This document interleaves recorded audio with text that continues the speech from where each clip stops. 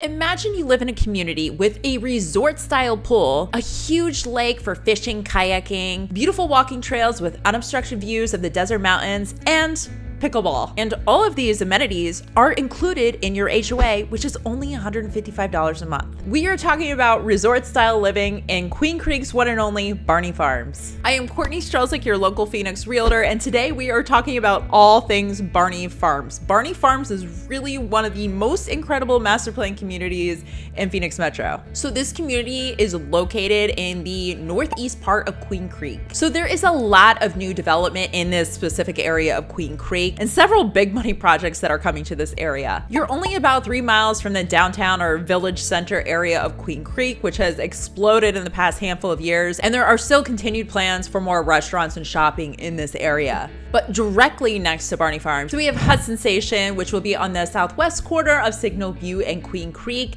and Fry's, the grocery store, will be the anchor store in this shopping center. There's also an EOS gym that's also coming to the shopping center. And then directly west of Barney Farms, we have Frontier Family Park coming in 2024. You guys, this project is a huge project. It's a $67 million project. The total park is 85 acres. They're gonna have an incredible indoor rec center with both an indoor gym and pool. It's gonna be an outdoor playground, splash pad, several fields. They're actually gonna have 24 pickleball courts. They'll also have a lake and several walking trails. I'll put a link below for this park because it really is an incredible project that's coming to Queen Creek. But let's talk about Barney Farms. So Barney Farms is actually a brand new community. It is developed by Fulton Homes, which is one of Arizona's more well-known builders. They really are still in the baby stages of developing this community. The Ultimate Master Plan actually has 14 different communities, and so far, there's really only four that are currently being built. So the four neighborhoods that are currently available right now, we'll start with the most affordable option and then move our way up to the luxury option.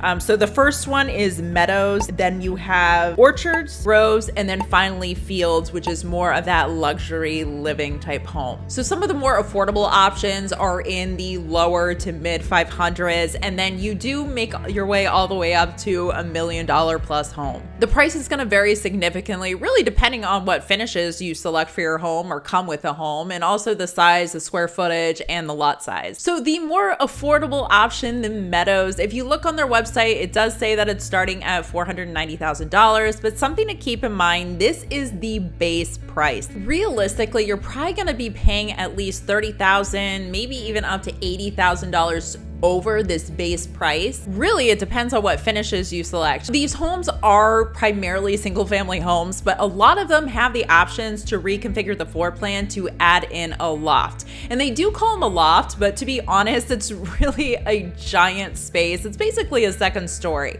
A lot of them are gonna have bedrooms, a big living area, bathrooms up there. As far as square footage for these homes, the smallest model is around 1700 square feet. They do have options in their more luxury luxury community, the Fields, for a home that's up to 4,600 square feet. And then pretty much every floor plan, you can find square footage in between those two numbers. Generally, most of the homes have three to six bedrooms. Again, some of the luxury homes, you have an option to have up to nine bedrooms. Most of the lot sizes in this neighborhood are actually pretty decent size for Phoenix standards, at least. Many of the lots are between 5,500 to 8,000 square feet. However, if you're in that luxury community, you are going to find bigger lots. A lot of the lots there there are going to be 8 to 10,000 square feet.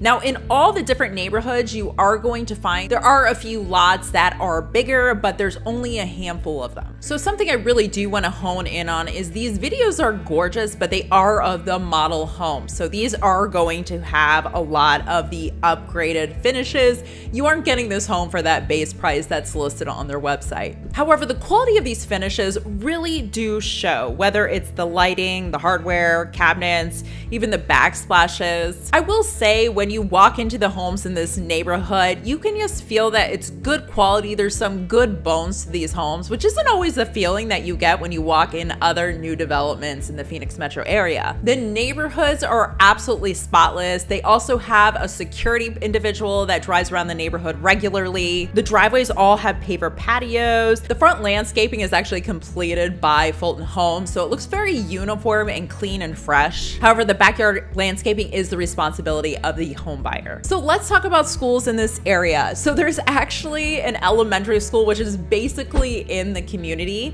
and this is the Katherine Mecham Barney Elementary School.